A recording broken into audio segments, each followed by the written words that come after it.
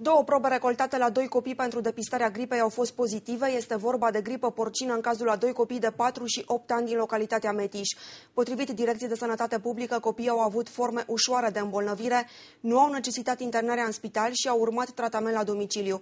Medicii recomandă vaccinarea antigripală. Până acum, din cele peste 22.000 de doze de vaccin antigripal gratuit, a fost administrat peste 75% din totalul dozelor. În ultima săptămână, numărul infecțiilor respiratorii respiratorii și al pneumonilor a scăzut.